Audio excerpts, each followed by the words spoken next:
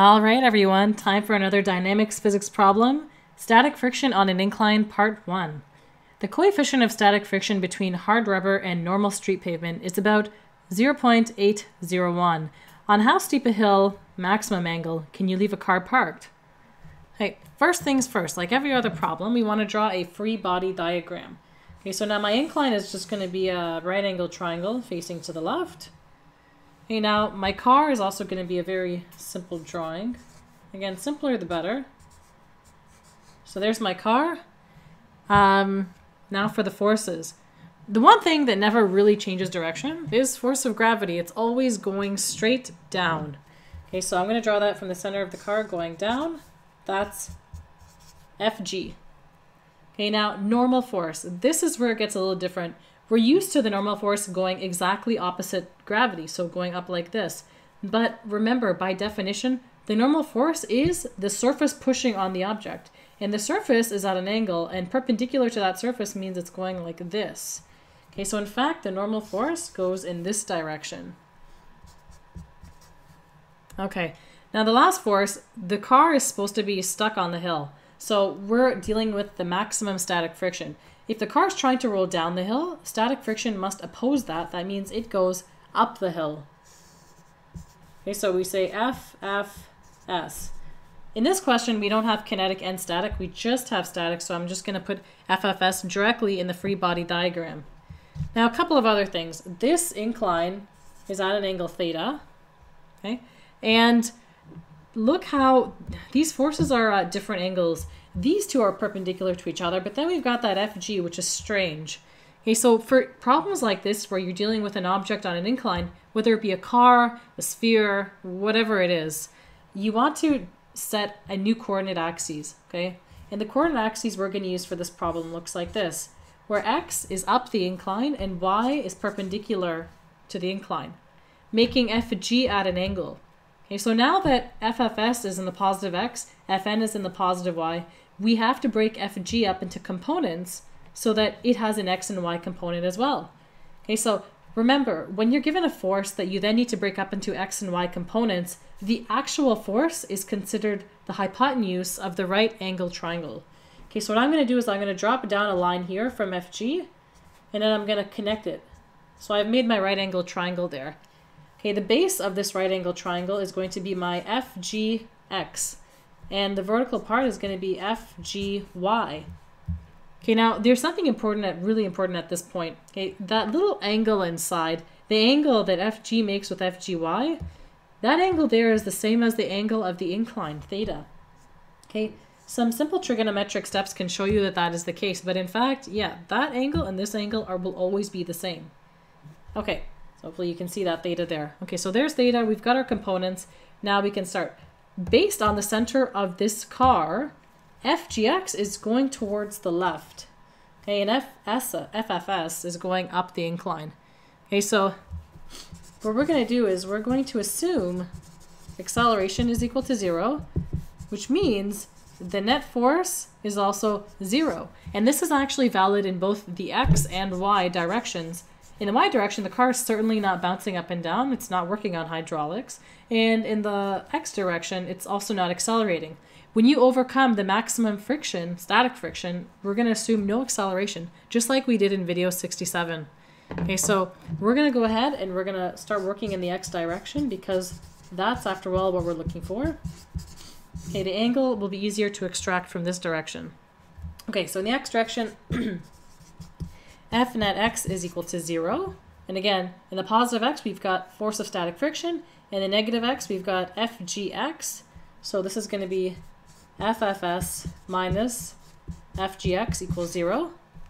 Okay, so bring the minus fgx to the right, make it positive. So ffs equals fgx. Okay, now, just like in the previous video 67, uh, force of friction is equal to the product of the coefficient of friction with the normal force. Now, because this is static friction, it's going to be the product of the coefficient of static friction with the normal force is equal to FGX. Now, FGX, we're going to use some trigonometry here. This triangle might be a little hard for you to see on the screen there, so I'm going to take this same triangle and I'm going to blow it up and draw it here. Okay, so we've got FG going down, and we did a y component and an x component. Okay, and those two met at right angles, of course.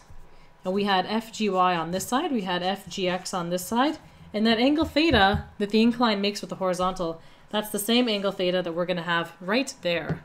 Okay, so FGX is one side of this right angle triangle, and in fact, if you were to solve for what it is, FGX is equal to the hypotenuse times sine of theta. Okay, so FG sine theta, and FG is after all just mg. So mg sine theta is equal to FGX. Okay, similar thing with FGY. FGY is equal to the hypotenuse, FG, and this is adjacent to that angle. So it's going to be FG cosine theta. FG is equal to mg, so FGY is mg cos theta. Okay, so this way we have both of them solved, so if we need to plug it in, we can. And we actually need to plug in FGX right now. Okay, so FGX is mg sine theta. Okay, now to replace Fn. Okay, now again, referencing video 57, uh, 67, pardon me. Okay, the normal force and gravity were actually opposite each other. But in this question, Fn is not opposite to Fg. They're going in different directions. Okay, Fn is actually opposite to Fgy. Okay, and the fact that this car is not accelerating up or down, so you can do a little mini section here in the y direction. The fact that it's not accelerating up or down, acceleration zero in the y direction, f net is zero. So if we say f net y is equal to zero, in the positive y we've got fn, in the negative y we only have fgy, so fn minus fgy is equal to zero, therefore fn is equal to fgy. Okay? If fn is equal to fgy, that's what I'm going to plug in here. So fn does not equal just fg, it's fgy. Okay, so, and of course, fgy, we just solved it, it's mg cos theta. So I'm going to plug in mg cos theta. So mu s mg cos theta is equal to mg sine theta. Okay, so the I like this problem because it actually shows you and actually makes you derive the expression for the coefficient of friction based on whatever angle the incline is at. And as you're going to clearly see in this step, it has nothing to do with the mass or the acceleration due to gravity. Okay, because now we've got mu s cos theta is equal to sine theta. So I'm going to divide both sides by uh, cos theta. So we get the thetas on the same side. Mu s is equal to sine theta over cos theta. Okay, so let's...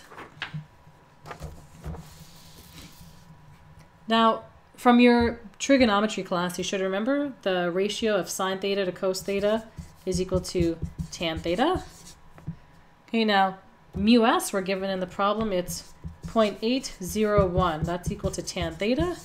So to get theta by itself, you must take the inverse tangent of both sides. So theta is equal to the inverse tangent of 0.801. I just switched the sides there. Okay, when you plug that into your calculator, you're going to get theta is equal to 38.69 degrees. Okay, we have to round this to 3 sig figs since that's what we're given uh, in the problem. So we need 3 sig figs. So having only one decimal place would make the 6, the 9 rounds the 6 up to a 7. So theta is equal to 38.7 degrees. Okay, so that is the angle of your incline for any car parked. Again, irrelevant of mass. Clearly it wasn't relevant as we had to cancel it out. It played no factor into the actual calculation. Okay, and there you have it, guys.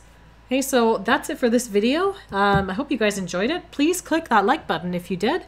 And be sure to catch the next video, 69, Static Friction on Incline Part 2, where we, we're actually going to be using the same incline, um, except in this case, we're going to be dealing with kinetic friction and some movement. Okay, so be sure to check that out once you get the chance. All right, guys, that's it. Enjoy the rest of your day, and I will catch you in the next video.